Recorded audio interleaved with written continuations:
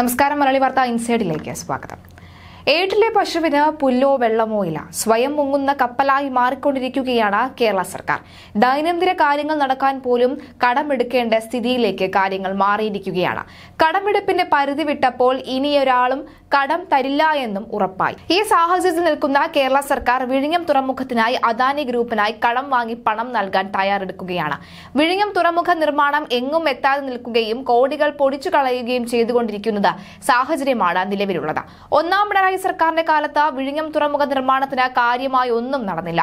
രണ്ടാം പിണറായി സർക്കാരിന്റെ കാലത്താകട്ടെ സമരങ്ങളും പ്രതിഷേധങ്ങളും കൊണ്ട് തുറമുഖ നിർമ്മാണത്തെ പൂർണമായും അട്ടിമറിക്കപ്പെട്ടുകൊണ്ടിരുന്നു. ഇപ്പോഴത്തെ ഓഹരി വിപണിയിൽ കൂപ്പുകുത്തി വീണ അദാനി ഗ്രൂപ്പിന് പണം കടം വാങ്ങി നൽകാനുള്ള പിണറായി സർക്കാരിന്റെ പദ്ധതി ഏറെ വിമർശനത്തിന് വഴിതെളിയിക്കുന്നുണ്ട്. കാരണം കോടികൾ ബാധ്യതയിൽ നിൽക്കുന്ന അദാനിയെ സഹായിക്കാനാണ് കേരളം വായ്പയെടുത്ത പണം അടിയന്തരമായി നൽകുന്നതെന്ന ആരോപണമാണ് ഉയർന്നത് പണം കൈപ്പറ്റി കൈപ്പറ്റിക്കഴിഞ്ഞാൽ തുറമുഖ നിർമ്മാണം എങ്ങനെ പുരോഗമിക്കുമെന്ന കാര്യത്തിൽ ഉറപ്പില്ലാത്ത അവസ്ഥയാണ്. കേരളത്തിന്റെ സ്വപ്ന പദ്ധതി അദാനിയുടെ തകർച്ചയ്ക്കൊപ്പം തകരുമോ എന്ന സംശയവും ബാക്കിയാണ്. എങ്കിലും പിണറായി സർക്കാർ ഇത്രയും തിടുക്കപ്പെട്ട് അദാനിക്ക് പണം നൽകാൻ ഉദ്ദേശിക്കുന്നതിന് പിന്നിൽ അദാനിയെ സഹായിക്കുക എന്ന ലക്ഷ്യമുണ്ടെന്ന് വിലയിരുത്തപ്പെടുന്നു. വിഴിഞ്ഞം തുറമുഖ പദ്ധതിയുടെ നിർമ്മാണത്തിന് അദാനി ഗ്രൂപ്പിന് നൽകാൻ സർക്കാർ എണ്ണൂറ്റി അൻപത് കോടി അടിയന്തരമായി വായ്പ എടുക്കാനാ സർക്കാരിന്റെ തീരുമാനം. പദ്ധതിക്കായി ഒരാഴ്ചയ്ക്കകം എണ്ണൂറ്റി അൻപത് കോടി രൂപ അദാനി ഗ്രൂപ്പിന് കൈമാറാനാണ് സർക്കാർ തീരുമാനിച്ചിട്ടുള്ളത്. ഹെഡ്കോയിൽ നിന്നും സഹകരണ ബാങ്കുകളുടെ കൺസോഷ്യത്തിൽ നിന്നോ വായ്പ എടുക്കാനാണ് നീക്കം. ഇക്കാര്യത്തിൽ ഇരു കൂട്ടരുമായുള്ള ചർച്ചകൾ പുരോഗമിക്കുകയാണ്. തുറമുഖ നിർമ്മാണം പൂർത്തിയായി പതിനഞ്ച് വർഷം കഴിഞ്ഞാൽ മാത്രമേ നടത്തിപ്പ് സർക്കാരിലേക്ക് എത്തുകയുള്ളൂ. അതുകൊണ്ട് തന്നെ ഹെഡ്കോയിൽ നിന്ന് വായ്പ എടുത്താൽ പതിനാറ് വർഷം കഴിഞ്ഞ് തിരിച്ചടവ് നടത്തിയാൽ മതിയെന്ന ധാരണയായിട്ടുണ്ട്. അതുവരെ പലിശ മാത്രം നൽകിയാൽ മതിയാകും. പദ്ധതിയുടെ പൂർത്തീകരണത്തിന് ഇനി ആയിരം കോടി രൂപയും വിഴിഞ്ഞം ബാലരാമപുരം റെയിൽവേ ലൈൻ നിർമ്മാണത്തിന് മറ്റൊരു ആയിരം കോടിയും ഉൾപ്പെടെ രണ്ടായിരത്തി എണ്ണൂറ്റി അൻപത് കോടിയാണ് സർക്കാർ ആകെ വായ്പ എടുത്തത്.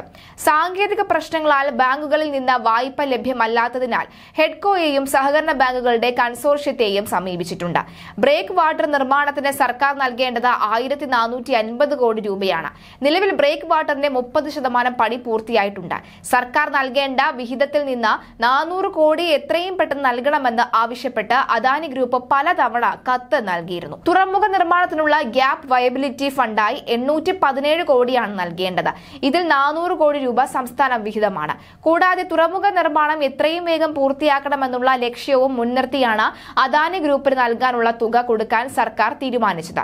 ഗ്യാപ് വയലബിലിറ്റി ഫണ്ടായി കേന്ദ്രം നൽകാനുള്ള തുക ലഭ്യമാക്കാൻ സർക്കാർ ഇടപെടുമെന്നും തുറമുഖ വകുപ്പ് അദാനി ഗ്രൂപ്പിന് ഉറപ്പ് നൽകിയിട്ടുണ്ട്. അടുത്ത സെപ്റ്റംബറിൽ വിഴിഞ്ഞത്ത് തുറമുഖത്തിന്റെ ആദ്യഘട്ടം പൂർത്തിയാക്കി കപ്പലെത്തിക്കാനാണ് സർക്കാരിന്റെ നീക്കം. സാമ്പത്തിക വർഷം അവസാനിക്കുന്ന മാർച്ച് മുപ്പത്തിയൊന്ന് വരെ കടമെടുക്കാൻ കഴിയുന്ന തുക ഒൻപതിനായിരത്തി മുപ്പത്തി ഏഴ് കോടി രൂപയാണ്. എന്നാൽ അത് കേന്ദ്രം വെട്ടിക്കുറച്ചിട്ടുമുണ്ട്. പണമില്ലാത്തതിനാൽ പദ്ധതി വിഹിതത്തിൽ വൻ വെട്ടിക്കുറയ്ക്കലാണ് വന്നേക്കുന്നത്. കഴിഞ്ഞ വർഷം ഇരുപത്തിയഞ്ച് ശതമാനത്തോളം വിഹിതം വെട്ടിക്കുറച്ചിരുന്നു. ഇക്കുറി ഇത് മുപ്പത്തിയഞ്ച് ശതമാനമായി വർദ്ധിക്കാനാണ് സാധ്യത. സാമ്പത്തിക വർഷം അവസാനിക്കാൻ ഒന്നര മാസം മാത്രം ശേഷിക്കെ ഇതുവരെ പദ്ധതി ചെലവ് അൻപത്തിയാറ് ശതമാനമേ ആയിട്ടുള്ളൂ. സാമ്പത്തിക വർഷത്തിന്റെ അവസാന നാളുകളിൽ പദ്ധതികൾ വേഗത്തിൽ പൂർത്തിയാക്കുന്ന പതിവുള്ളതിനാൽ ഇരുപത്തി അയ്യായിരം കോടി രൂപയെങ്കിലും അടുത്ത മാസം ട്രഷറിയിൽ നിന്ന് ചെലവിടാമെന്ന് സർക്കാരിന്റെ കണക്കുകൂട്ടൽ പാളി. ആറായിരം കോടി നികുതി വരുമാനവും അഞ്ഞൂറ് കോടി നികുതി ഇതര വരുമാനവും കടമെടുക്കുന്ന ഒൻപതിനായിരത്തി മുപ്പത്തിയേഴ് കോടിയും മറ്റെല്ലാ വരുമാനങ്ങളും ചേർത്ത പതിനായിരം കോടി രൂപയിൽ താഴെ മാത്രമേ ഇപ്പോഴത്തെ നിലയിൽ സർക്കാരിന് സമാഹരിക്കാൻ കഴിയൂ. കടമെടുക്കുമെന്ന് കരുതിയ തുകയിൽ നിന്ന് രണ്ടായിരത്തി എഴുന്നൂറ് കോടി രൂപ കേന്ദ്രം വെട്ടിക്കുറച്ചാണ് പെട്ടെന്നുള്ള പ്രതിസന്ധിക്ക് കാരണം. മുൻപ് കടമെടുത്തതിന്റെ പലിശ ജീവനക്കാരുടെ ശമ്പളം പെൻഷൻ വിവിധ സബ്സിഡികൾ എന്നിവയ്ക്കായി നൽകാൻ മാർച്ചിൽ മാത്രം അയ്യായിരം കോടി രൂപയെങ്കിലും വേണം. ഇവ ഒഴിവാക്കാൻ കഴിയാത്ത ചെലവാണ്. പിന്നെ ബാക്കിയുള്ള അയ്യായിരം കോടി കൊണ്ട് വർഷാവസാനം ചെലവുകളിൽ കാൽ പങ്ക് പോലും നിറവേറ്റാൻ കഴിയില്ല. ഇത്ര ഗുരുതരമായ പ്രതിസന്ധി സമീപകാലത്ത് ഒന്നും ഉണ്ടായിട്ടില്ല എന്നാണ് ധനവകുപ്പ് വൃത്തങ്ങൾ ചൂണ്ടിക്കാണിക്കുന്നത്. രണ്ട് മാസത്തെ ക്ഷേമ പെൻഷൻ വിതരണം ചെയ്യാൻ സഹകരണ ബാങ്കിൽ നിന്നും രണ്ടായിരം കോടി വായ്പ എടുക്കാൻ ആലോചിക്കുന്നുമുണ്ട്. ഇതിനു പുറമെ ബിവറേജസ് കോർപ്പറേഷൻ സർക്കാരിലേക്ക് അടയ്ക്കേണ്ട പണം മുൻകൂറായി വാങ്ങും.